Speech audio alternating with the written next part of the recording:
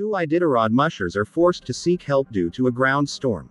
Anchorage, Alaska KTUU, winds from a severe ground storm forced two back of the pack mushers to be rescued in separate events from the Iditarod Trail Sled Dog Race on Friday, according to race officials.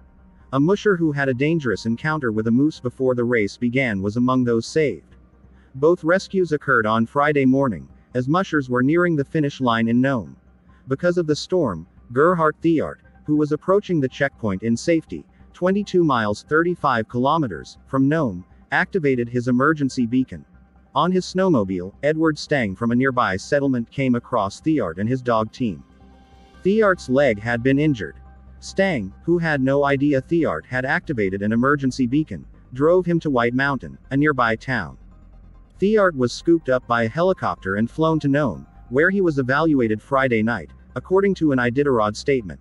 Bridgett Watkins, another musher, called a family member in Nome for help about the same time. A White Mountain search and rescue team was deployed, but Watkins' husband Scotty found her in the meanwhile. He and four other snowmobile riders set out from Nome to assist mushers during the storm. Watkins was transported to White Mountain and examined at a local clinic. She was then taken to Nome, where she was reunited with her family. Watkins was on a training run in Fairbanks in February when a bull moose began stomping her dogs and continued to do so even after she fired her gun at the moose. After the moose had gravely hurt four of her dogs, she was able to contact for assistance, and a friend arrived and killed the moose with a high powered gun.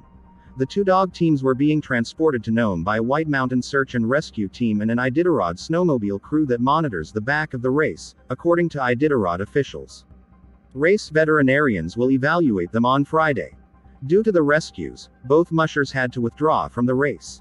The almost 1,000 mile, 1,609 kilometer, Iditarod began at Willow on March 6 and took mushers through the harsh Alaska tundra. The race was won by Brent Sass on Tuesday. Eight of the 49 mushers that started the event have pulled out. Nine mushers are still on the path, huddled together at the White Mountain checkpoint, 77 miles, 124 kilometers, from Nome.